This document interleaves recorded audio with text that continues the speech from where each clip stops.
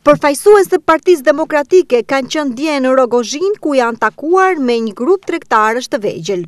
Rrogozhina është pasqyra e varfërisë dhe zbrazjes së Shqipërisë gjatë viteve të fundit. Tregtarët dëshmojnë për rënie drastike të konsumit.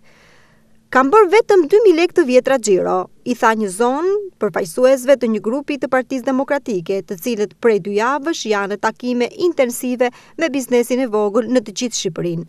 Ne që na bombarduan me gjoba një herë. Vazhdojmë, ëh? Oh. Me situacion paguam me tatin apo një përse ma bëj gjobën do të. Çfarë thon? Pse ta bëj gjobën?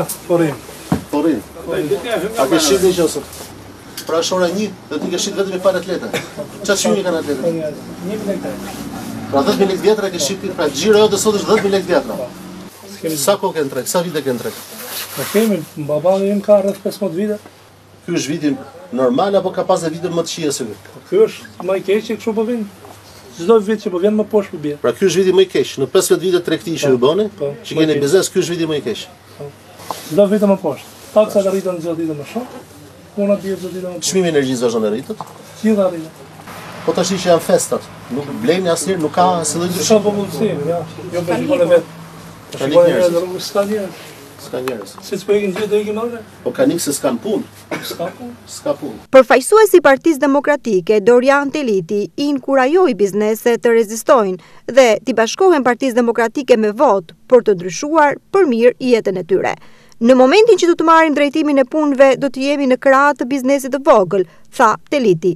Në momentin që do marrim drejtimin e punëve, do jemi vetëm dhe vetëm në krahë të biznesit. Taksa të ulëta, çmim të energjisë të ulët, pa TVSH, pa tatim fitim për çdo biznes që bën xhiro deri në 140 mijë dollarë në vit.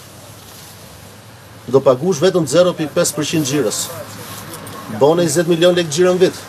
Do pagush dyzet mijë lekë të vjetra. Kaq dhe detyrimi yt. Pjesën tjetër çfarë do fitosh, do ta shpërndash mera familjes sate, të rrisësh mirëqenien tënde dhe të pagush rrogat e atyre punonjësve që të ikin këtu. Çmimi i energjisë ka për të ulë deri në masën dyzet për qind. Në varësi të llojit biznesit, çmimi që do ulet do lëvizë nga njëzet, nga minus njëzet për qind deri minus dyzet për qind. Është e vetmja mënyrë për t'i ardhur ndihmë biznesit. Po presim nga kur do vijë kjo ditë? Kjo ditë do vijë kur gjithë ne me votë lirë dhe ndershme t'i themi mirupafshim këtij kryeministri i cili mendon vetëm për oborrin e tij dhe për shokët e tij.